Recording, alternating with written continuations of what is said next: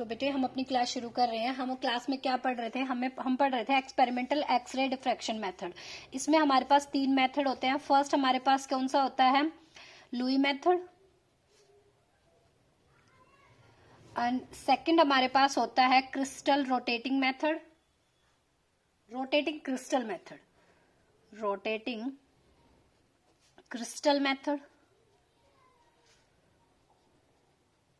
and third one अपने पास होता है पाउडर मेथड।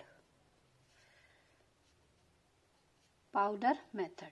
हम अपने ये दो मेथड क्लास में कंप्लीट कर चुके हैं तो आज हमें पढ़ना था पाउडर मेथड। तो जो हम पाउडर मेथड जो हम पढ़ते हैं ना ये हमारे पास क्या होता है? सबसे इजी और कन्वीनियंट मेथड होता है। आ, हमारे पास किसी भी क्रिस्टल के आ, जितनी भी हमें जानकारी चाहिए उसके लिए। तो हमारे पास क्या होता है? Powder method. अब हमें कौन सा मेथड पढ़ना है? Powder method. अब हमें पढ़ना है पाउडर मेथड तो पाउडर मेथड जो हमारा 1961 में डी बाय और स्केरर दो साइंटिस्ट थे जर्मन के साइंटिस्ट थे ये Germany scientist scientist who gave this method तो सबसे पहले हमें बताना है कि 1961 में डी बाय एंड स्केरर दो साइंटिस्ट थे जिन्होंने हमें जर्मन साइंटिस्ट थे, वो पाउडर मेथड को दिया था। हमारे पास ये क्या है? It is very easy and convenient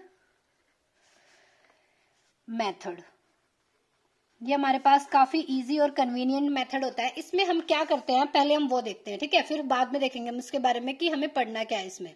तो हमारे पास क्या होता है? इसमें भी हम सिंगल क्रिस्टल लेते हैं।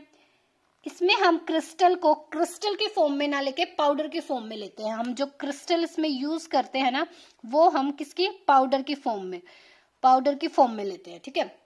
तो ये हमारे पास क्रिस्टल है जो छोटे छोटे उसके पार्टिकल्स हैं इसमें ठीक है? हमारे पास यहाँ पे हम एक आ, फ़िल्म टाइप लेते हैं और उसमें एक होल कराते हैं जहाँ से हम क्या करेंगे? एक्सरे को इंसिडेंट कराएँगे। ये हमारे पास मोनोक्रोमेटिक एक्सरे है। मोनोक्रोमेटिक मोनोक्रोमेटिक एक्सरे ठीक है? यहाँ से जब एक्सरे हमारे पास इंसिडेंट होगी इस क्रिस्टल पर तो ये हमारे पास क्या है? एक डिफ्रेक्शन पैटर्न देगा। तो इस पे जो क्रिस्टल होगी ना इस क्रिस्टल पे जो हमारे पास फॉल होंगी एक्सरे वो कुछ इस टाइप का पैटर्न सा बनाएँगे ऐसे जाएँगे। ठीक है?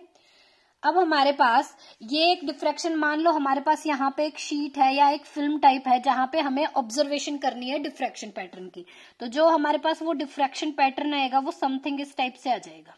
इनके बीच में एंगल होगा थीटा अगेन हमारे पास ये एंगल अगेन क्या होगा? थीटा तो ये एंगल कितना हो गया? टू थीटा इसी तरह की फॉर्मेशन यहाँ पे चलती रहेंगी। तो ये हमारे पास क्या है? इस टाइप का डिफ्रेक्शन पैटर्न हमें मिल जाएगा।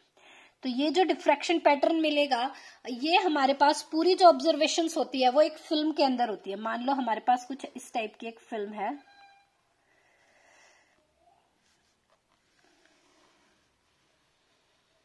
समथिंग कुछ ऐसे। ठीक है? ये पूरी ऑब्जर्वेशन अपने उस फ़िल्म के अंदर हो रही है।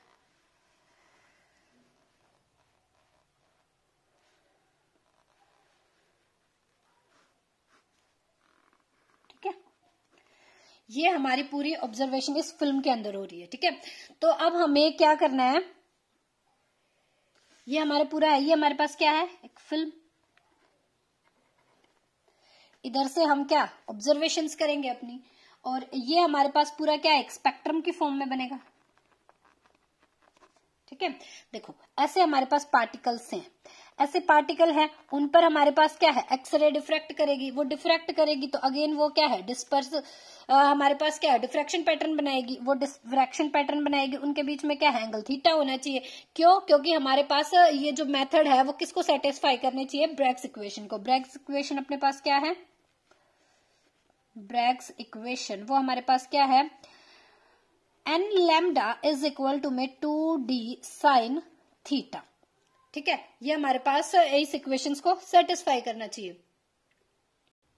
अब ये हमारे पास ये इक्वेशन को सेटिस्फाई करेगा तो हमारे पास क्या है?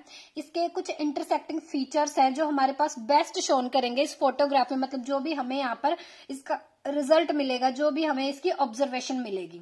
तो इसे हम लिख सकते हैं an intersecting an intersecting feature which is shown which is shown which is shown uh, best by the powder film powder film या फोटोग्राफिक फिल्म कुछ भी बोल सकते हो पाउडर फिल्म या photographic film is that the resolving power resolving power जो अपने पास ये रिजोल्विंग पावर है becomes very high becomes very high when the reflected ray is throw back to the angle of two theta when the reflected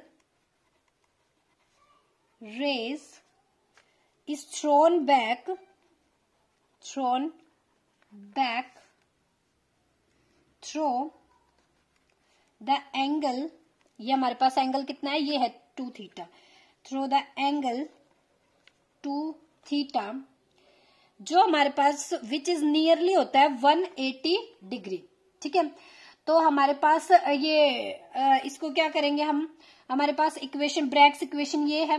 हम इसको differentiate करेंगे। After differentiating हम इसको बोल देते हैं इक्वेशन नंबर वन ठीक है?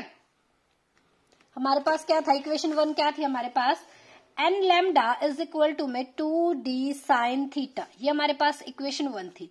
इसको हम करेंगे after differentiating after differentiating differentiating तो हम डिफ्रेंशिएट करेंगे तो हमारे पास क्या करें? विद रिस्पेक्ट टू थीटा तो हमारे पास क्या मिलेगी? D n lambda divided by d theta is equal to में अपने पास हो जाएगा टू डी इसको हमारे पास डी थीटा हो जाएगा ना अपने पास? टू uh, डी ये अपने पास हो जाएगा two d d theta d by d theta ठीक है? साइन थीटा प्लस में टू डी साइन थीटा का क्या हो जाएगा? कॉस थीटा ठीक है? अब हमारे पास जो लाइट रे थी, वो कौन सी थी? Monochromatic light ray. For. Monochromatic. Monochromatic. X ray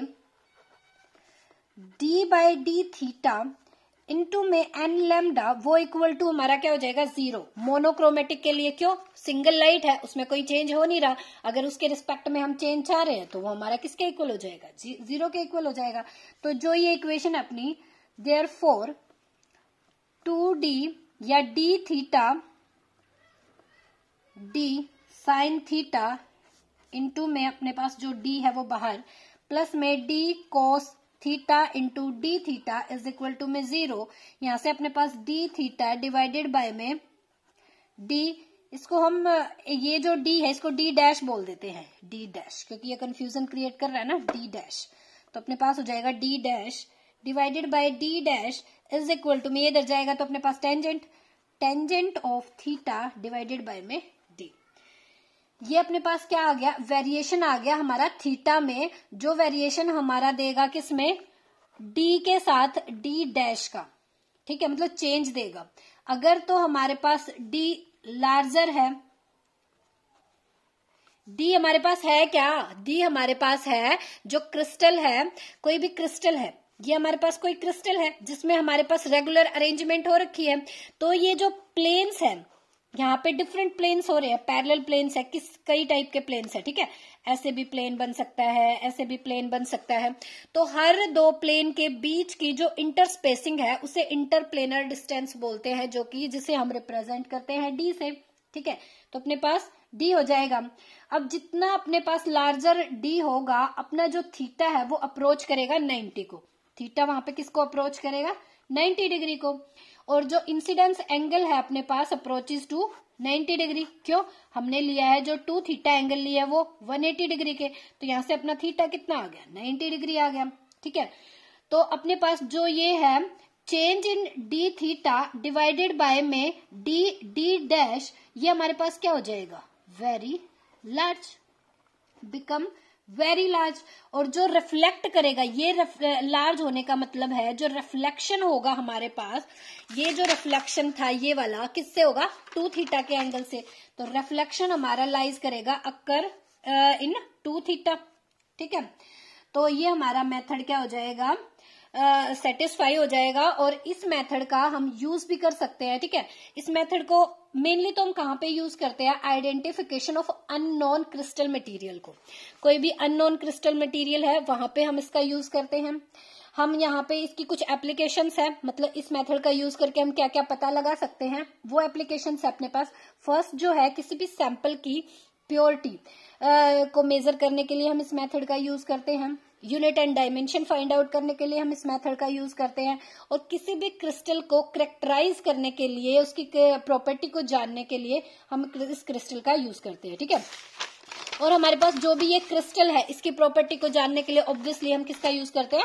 powder method का। पाउडर मेथड का मतलब क्या है? ये हमारे पास इजी और कन्वीनियंट मेथड है। बाकी जो दो हमने मेथड पढ़े थे फ़र्स्ट हमने क्या पढ़ा था? लुई मेथड और नेक्स्ट हमने पढ़ा था क्रिस्टल रोटेटिंग मेथड उनके कंपैरिजन में ये काफ़ी इजी मेथड है। ठीक है? तो आपको बेटे ये अच्छे से तैयार करना है। इसको एक बार आ, समझ में ना आए तो दोबारा देख लेना। कोई डाउट है तो आप मेरे से पूछ लेना ठीक है? जब तक आप पढ़ते रहिए। All the very best thank you